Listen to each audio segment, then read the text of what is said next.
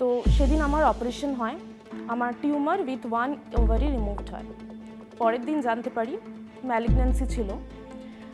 আর cancer stage ওয়ানে আমার কোমর থেকে ঘাড় অবধি শিরদাঁড়ের প্রত্যেকটা জয়েন্টে ইনজেক্ট করে একটা চ্যানেল ফিক্স করা হয়, পুরো পিঠ প্লাস্টার করে।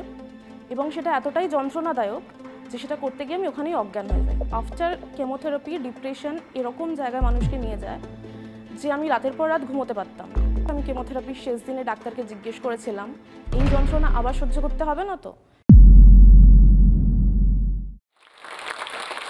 একটা প্রচলিত কথা আছে when money is lost nothing is lost when character is lost something is lost and when health is lost everything is lost এই কথাতেই যদি বিশ্বাস করতে হয়, সেখান থেকে আমার তাহলে সব কিছু হারিয়ে গেছিল এবং এই হারিয়ে যাওয়া জিনিস থেকেও যে ফাইট ব্যাক করে ফিরে আসা যায়, সেই স্টোরি নিয়ে আমি আজকে জোশ টক্সে এসেছি। আমি একজন, আমি অস্মিতা চট্টোপাধ্যায়, উনত্রিশ বছর বয়সী একজন ক্যান্সার সার্ভাইভার আর জন্ম উত্তর কলকাতার ডানলপের কাছে। তো চার পাঁচটা সাধারণ ফ্যামিলিতে যেভাবে মানুষ বড় হয়, স্বাভাবিক সচ্ছল পরিবারে আমিও সেরকমই হচ্ছিলাম। আমার স্কুলিং হলি চাইল্ড থেকে এবং তারপর আমি টেকনো ইন্ডিয়া থেকে গ্র্যাজুয়েশন করি। মাস্টার্স করতে তারপর যাই ব্যাঙ্গালোর দু হাজার চোদ্দোতে।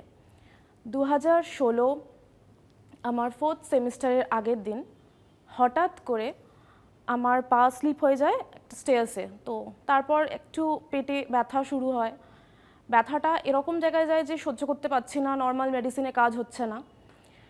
তারপর লোকাল হসপিটালে নিয়ে যাওয়ায় তারা তারা অ্যান্টিসিপেট করেন কি আমার কিডনি স্টোন হয়েছে, সেই জন্য ব্যথা হচ্ছে। তো ওনারা ইঞ্জেকশন দিয়ে আমি বাড়ি ফেরত আসি, আমার আবার ব্যথা হয় লোকাল ডাক্তারের কাছে যাই, ওনারা আবার ইঞ্জেকশনস দেন। এই করতে করতে সেই দিনটা কেটে যায়। পরের দিন আমার ফোর্থ সেমিস্টারের প্রথম দিন পরীক্ষা শুরু।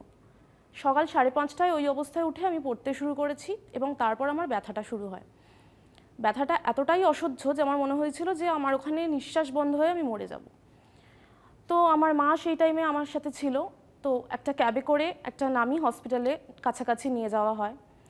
ওনারা আলট্রাসোনোগ্রাফি করার পর দেখতে পান যে আমার পেটে একটা হিউজ টিউমার যেটা একটা ওভারিকে নিয়ে রোটেট করে গেছে। তো ওনাদের কাছে তখন কোনো গাইনোকোলজিস্ট অ্যাভেলেবেল ছিল না। ওনারা বলেন, ওনাদের মেন ব্রাঞ্চে আমাকে সেই মুহূর্তে যেতে। কিন্তু আমার তখন এতটাই ব্যথা যে যে কোনো মুহূর্তে হার্ট ফেল করতে পারে। ডাক্তার আমাকে এসে বলে যে, আমি highest dose of painkiller তোমাকে দিয়েছি। এই রাস্তাটুকু তোমাকেই সহ্য করতে হবে যেভাবে হোক। তো আমি সেখানে যাই। যাওয়ার পর আমি মাঝে মধ্যেই অজ্ঞান হয়ে যাচ্ছিলাম। আমার কোনো সেন্সে আমি ছিলাম না। তো জানতে পারি যে আমার সেই দিনই অপারেশন তখন মা ছাড়া বাড়ির কোনো সাপোর্ট বন্ধুবান্ধব, সবাই ব্যস্ত সেমিস্টারের জন্য, কিছু না, শুধু মা ছিল। তো সেদিন আমার অপারেশন হয়, আমার tumour with one ovary removed হয়। পরের দিন জানতে পারি, ম্যালিগন্যান্সি ছিল, আর ক্যান্সার স্টেজ ওয়ানে কিন্তু যেহেতু ক্যান্সার স্টেজ ওয়ানে ওনারা বলেন কেমোথেরাপির কোনো প্রয়োজন নেই। তারপর আমি আবার আমার নর্মাল লাইফে ফিরে আসি, সম্পূর্ণ সুস্থ, সাধারণ একজন মানুষের মতোই। তারপর ক্যাম্পাসিংয়ে চাকরি পেয়ে আমি কলকাতায় ট্রান্সফার নিয়ে ফেরত আসি। কলকাতায় আসার পর দু হাজার মে মাসে একটা ছোট্ট অ্যাক্সিডেন্টে আমার পেটে ধাক্কা লাগে এবং ধাক্কা লাগার পর ডাক্তার বলেন যে, কোনো ওষুধ দেওয়ার আগে যেহেতু তোমার একটা মেজর সার্জারি আছে, তুমি আরেকবার আলট্রাসোনোগ্রাফি করে নাও। সেই আলট্রাসোনোগ্রাফি করতে গিয়ে আমি জানতে পারি, আমার পেটে আরেকটা লার্জ হিউজ টিউমার সেটা আমার লেফট ওভারিতে হয়েছে। কলকাতার নামি দামি বড় বড় জায়গায় ডাক্তার দেখায়, কিন্তু কেউ রিস্ক নিতে রাজি হন না। পরের পর সিটি স্ক্যান এমআরআই হয়। কিছুতেই ক্লিয়ার ভিজিবিলিটি ছিল না কিছুর। আমি আবার ফেরত যাই ব্যাঙ্গালোরে, আমার যে ডাক্তারের কাছে অপারেশন হয়েছিল তার কাছে। উনি সেদিনই আমাকে আবার অপারেট করেন। এবং এই অপারেশনটা এতটাই মেজর সার্জারি ছিল যে আমার কোমর থেকে ঘাড় অবধি শিরদাঁড়ের প্রত্যেকটা জয়েন্টে ইনজেক্ট করে একটা চ্যানেল ফিক্স করা হয়, পুরো পিঠ প্লাস্টার করে, এবং সেটা এতটাই যন্ত্রণাদায়ক যে সেটা করতে গিয়ে আমি ওখানেই অজ্ঞান হয়ে যাই। যখন জ্ঞান আসে তখন আমার অলরেডি অপারেশন হয়ে গেছে, এবং ক্যান্সারাস জার্মস আছে কিনা সেটা আমি পরের দিন জানতে পারব।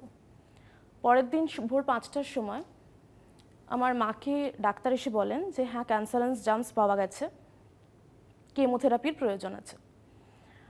তো তখন আমাদের ব্যাঙ্গালোরে কেউ নেই, থাকার মতো কোনো পরিস্থিতি নেই, ওখানে কেমোথেরাপি নিতে পারব না। আমরা সমস্ত মেডিকেশনস কি হওয়া উচিত জেনে কলকাতায় ফিরে আসি। কলকাতায় একটি বড় বেসরকারি হসপিটালে আমার কেমোথেরাপি চলে, টানা পাঁচ দিন করে চলতো। এরকম তিনটে সাইকেল নিয়েছি। প্রথম পাঁচ দিন পর আমার চুল পড়েনি। আমি খুব খুশি ছিলাম যে পড়েনি, হয়তো কোনো কারণে পড়বে না, একটা অবুঝ ধারণা। তো তারপর পনেরো দিন পর যখন আমার সেকেন্ড কেমো শুরু হয়, তার আগের দিন আমি যখন শ্যাম্পু করতে গেছি, আমি দেখি আমার হাতে কিছু চুল উঠে এলো। ভাবলাম যে এরকম চুল, এটা তো অস্বাভাবিক মানে কেন হচ্ছে এরকম আবার একটু দেখলাম আরও এক গোছা চুল উঠে এলো। আমি বুঝতে পারলাম কি হচ্ছে। তো আমি সেই কষ্টটা সহ্য না করতে পেরে আমি মাকে বললাম, তুমি গিয়ে আমার জন্য একটা ট্রিমার কিনে এনো। আমার মা যখন ট্রিমারটা কিনে আনলো, আমি আমার এক বন্ধুকে ডেকে পুরো চুল নিজে ট্রিম করে দিই। তো তারপর আরও পাঁচ দিন এবং তারপরে আরেকটা সাইকেলে আরও পাঁচ দিন আমার কেমোথেরাপি চলে। পুরো প্রসেসটা এতটাই অসহ্য যন্ত্রণাদায়ক মানে প্রত্যেক পাঁচ দিন পরে একটা ইঞ্জেকশন নিয়ে আমি বাড়ি ফিরতাম, যেখানে আমাকে কেউ ভুল করে একটু টাচ করে দিলে আমি যন্ত্রণায় ফেটে যেতাম। আমার মনে হতো যে আমি মরে যাব মানে আমি বাঁচতে পারব না। তো সেই জায়গা থেকে আমি ব্যাক করি এবং কেমোথেরাপি আমার শেষ হয়ে যাওয়ার এক মাসের মধ্যে আমি অফিস জয়েন করি।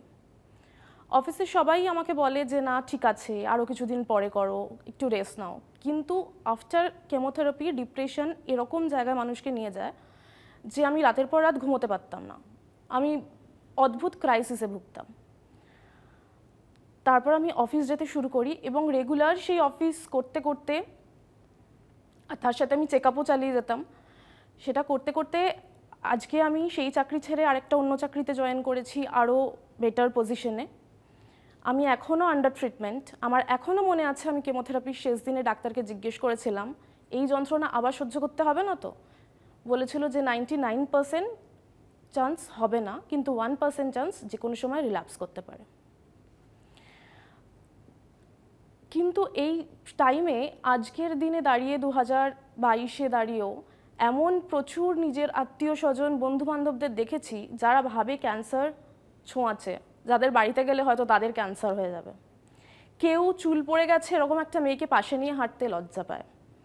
কেউ, তুই মোটা হয়ে গেছিস, আমার শরীরে যে কত স্টেরয়েড গেছে, সেই মানে সেই ধারণাটা, সেটা বোঝার মতো ক্ষমতা সাধারণ লোক অতটা ভাবার বিবেচনা করার প্রয়োজনই মনে করে না। কিন্তু সব কিছু ছেড়ে গরমকালে আমি মাথায় দুটো স্কার্ফ দিয়ে যেতাম যাতে রাস্তার লোক আমাকে কিছু না বলে। তারপর একদিন আমাকে, আমার অফিসের একজন বলল, যে অনেক হয়েছে, খুলে ফেল তুই। এত কষ্ট কেন সহ্য করবে? সেদিন যে আমি চুলটা খুলে দিলাম, সবাই অদ্ভুতভাবে তাকিয়েছিল আমার দিকে। অদ্ভুত রকম তাদের অ্যাটিটিউড যেটা খুব অ্যাবসার্ট মানে অ্যাকসেপ্ট করা যায় না শিক্ষিত মানুষ এরকম ব্যবহার করলে। পুঁথিগত শিক্ষা শুধু শিক্ষা নয়। তারপর আমি এখন চেক আছি, ভালো আছি, সুস্থ আছি। আমাদের মতো অনেকেই, আজকে আমার হয়েছে ক্যান্সার কালকে আরেকজনের হতে পারে। আমরা সবাই এটা থেকে ফাইট ব্যাক করে যাব, তার জন্য মেডিকেল সায়েন্স আছে। আমরা সবাই সুস্থ হয়ে যাব, মনের জোর জোগাড় করলে। কিন্তু এই ক্যান্সারের মানুষগুলো যারা আমাদের চারপাশে আছে, তাদের কীভাবে, তাদের বিবেচনা, তাদের চিন্তাভাবনা কি করে ঠিক হবে, সমাজে কী কীভাবে চেঞ্জেস আসবে, সেটা ভাবা খুবই প্রয়োজন। খুব বেসিক অ্যাওয়ারনেসগুলো এখনও আমাদের সমাজে নেই। আমার আর একটা মেয়ের প্রাইস ট্যাগ তার ওভারিতে ঝোলানো এটা খুব একটা অদ্ভুত ব্যাপার। মানে আমি সন্তানের জন্ম দিতে যদি নিজের সন্তানের আর কোনো দিন জন্ম দিতে না পারি, তার জন্য আমার জীবনটা ছোট বা আমার কোনো ভুল আছে, এই এই ধারণার মানুষ প্রচুর রয়েছে এটা আমি বুঝতে পেরেছি আমার সাথে এই ঘটনাটা হওয়ার পর। কিন্তু যাই হোক, আমি এগুলো সাথে অভ্যাস মানে অভ্যস্ত হয়ে গেছি, এগুলো আমার কাছে এক্সপেক্টেড আমি আমার লড়াইটা আমার লড়াইটা আগে আমি চালিয়ে যাব, যতবার রিল্যাপস করে যদি আবারও আবারও আমি লড়াই করব। কিন্তু অ্যাওয়ারনেস সমাজে অ্যাওয়ারনেসের খুব বেশি দরকার খুব বেশি দরকার।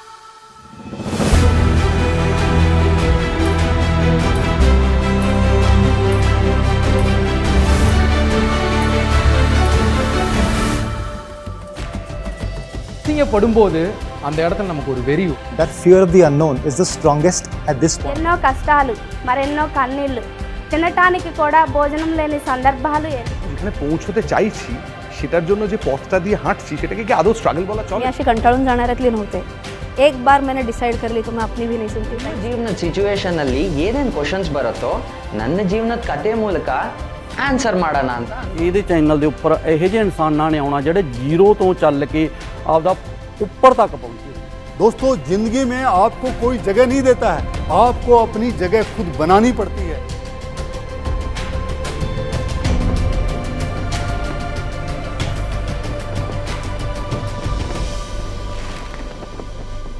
Most important thing is that that जोश इज़ कमिंग